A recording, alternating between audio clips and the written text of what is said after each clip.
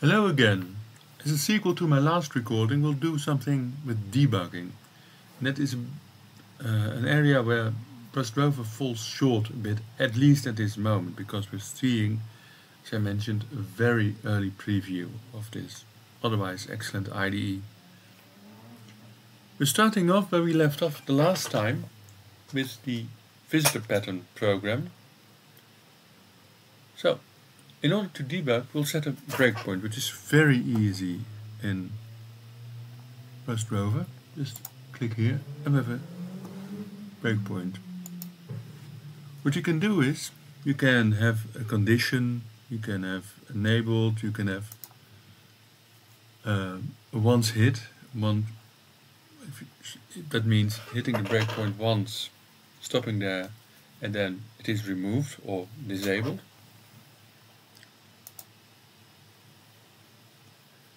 But that is not necessary for now. So let's see. I'll make this a bit bigger because that's what we'll need. Hit the bug here and we'll hit the run. We'll, start to debug. You can see the seq trace here. It's not really interesting at this moment. Just press F8 and we'll see that we instantiate the vector which has size 0 so there's nothing in there then we'll instantiate the first box with a person in it and well looks normal. And I expect the same goes for Bob and for Acme no problem. And then we'll push all three of them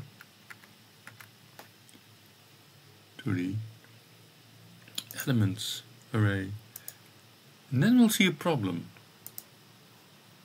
Because I really can't tell what's in here.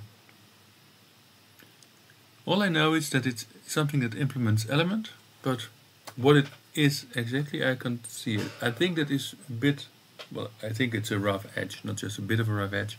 It's a rough edge. This should be improved in the next versions. Let's see what happens if we go into the loop. Element. Again, because we have a dynamic element in the box, partly the debugger can't find it, and we have the same problem that we had in the vector. Then we can in step into this.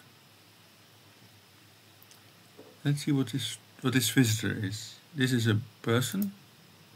Yes. But this is a visitor. No other information is available. Step over this.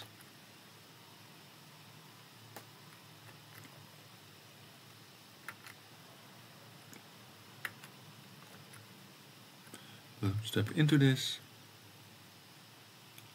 And next we see the organization. If we go into the implementation and we see the right object back again. It's not really, well it is a big problem, but you can work around it by going into the methods. We'll just run this program and we'll see the same output. That's it. As you can see, there are some rough edges around debugging, and I hope, sincerely hope that JetBrains gets round to solving these.